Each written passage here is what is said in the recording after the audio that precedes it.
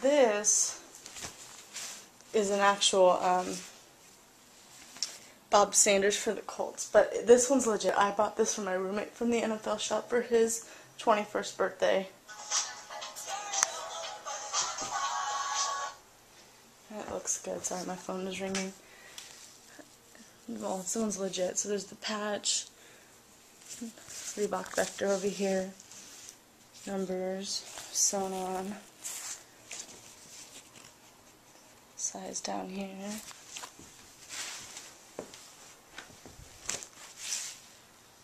Name, Zone. That's legit one. And then he has his fake one here, which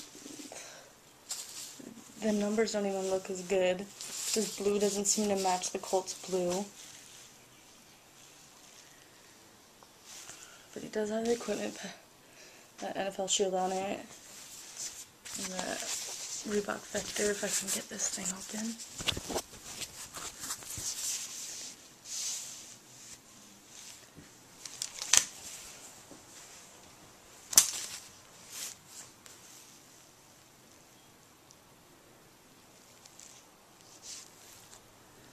Yeah, looks pretty good. Anyways, that's that. Um, I'm not gonna say that fakes are bad. I mean, if he, I think, only sells them for like forty dollars, and they look pretty good. I mean, I probably wouldn't wear them because I'm used to the feel of the real ones, but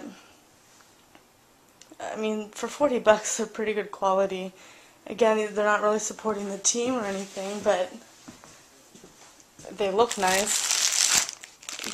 Here he has some packaged ones. This is um, Peyton Manning for the Super Bowl. Another thing, they never sell at the NFL shop or the pro shops with a captain patch or a Super Bowl patch. You have to buy those separate.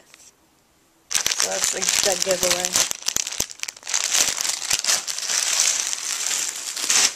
And here he has um, Montana. I think it's supposed to be a Mitchell and Ness patch on there. This looks bad though, because I don't think the um, NFL shield is supposed to be on this year for Mitchell and Ness. Most Mitchell and Nesses don't have a shield on it. Some do, but and they have it on here crooked. I don't. You can't really tell on here. Mm, I guess you kind of can. And this Jerry Rice supposed to be, I think, a '94 edition, 75th anniversary of the NFL. Mitchell Ness with no NFL logo on it. This one actually looks pretty good.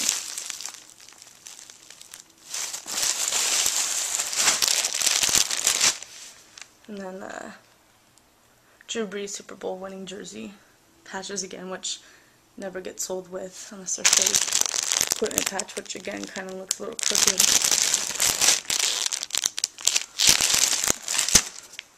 I don't know, just beware. If you if anyone is selling a jersey for less than like I would say like 120 bucks, pretty much guarantee that it's going to be a fake authentic. But if you don't really care and you're still supporting your team and I mean most of them now look like pretty good quality. So anyways, that's the vid. Just beware.